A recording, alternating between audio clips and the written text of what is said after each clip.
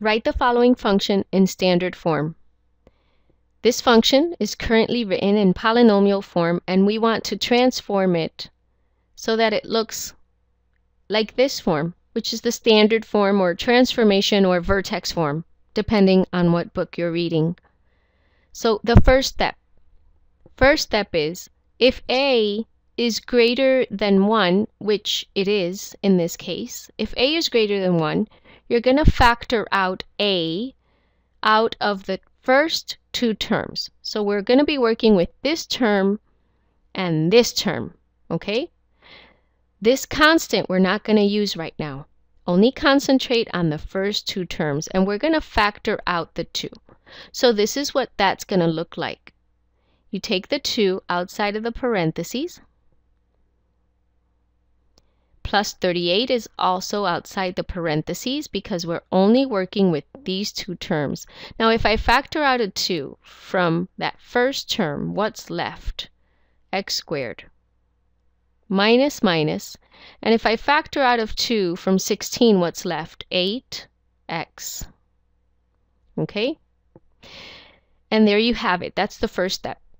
We factored out a 2. Your second step is we're going to fill in this little spot here. I'm going to add a number to this. And then I'm going to subtract a number. Okay? If I add a number to a function, I'm changing the function. And we're not supposed to do that.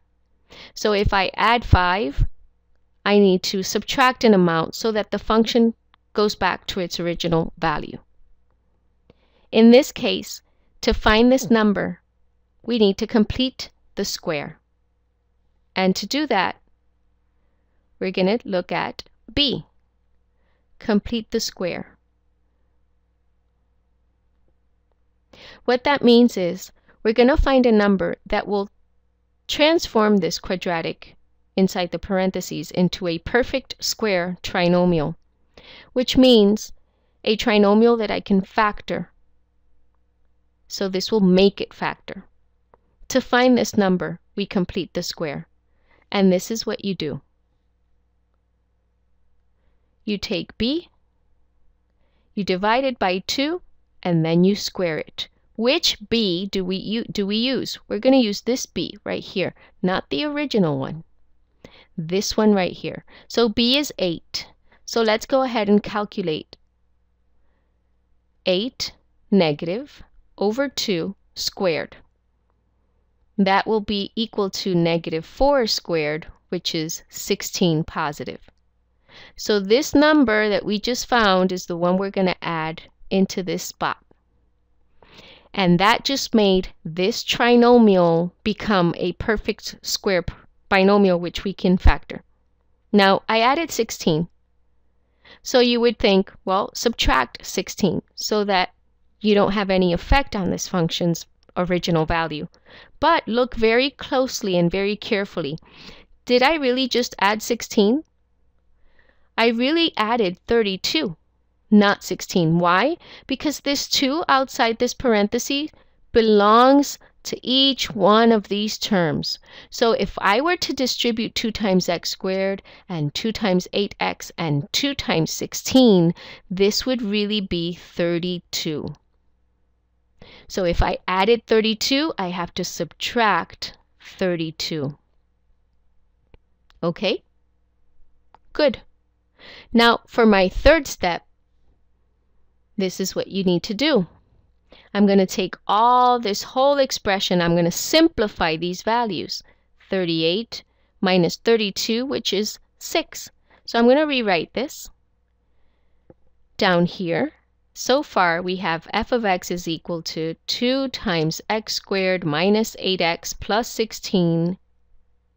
And then outside the parentheses, I'll have plus 6.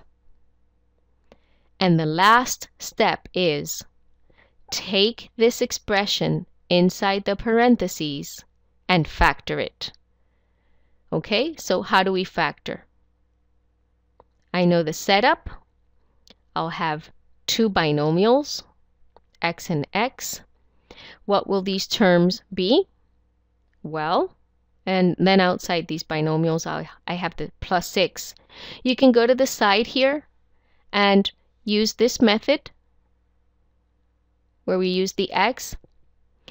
Your c value here will be 16 and your b is negative 8. So you have to think about two numbers that you can multiply together to make 16 and add together to make negative 8. And what comes to mind for me is 4 times 4. So 4 times 4 will make 16, but 4 plus 4 will not add to negative 8 unless they're both negative. And there you have it. Negative 4 times negative 4, positive 16. Negative 4 plus negative 4, negative 8. So these are your magic numbers. This is going to be minus 4, minus 4. And now I can go further, step 4, and since I'm multiplying x minus 4 times x minus 4, I can combine those two terms in exponent form. Let me erase that. f of x is equal to 2 times x minus 4 squared plus 6. And there you have it. We went from polynomial form to standard form. In the next video, we're going to do one more example where a is equal to 1.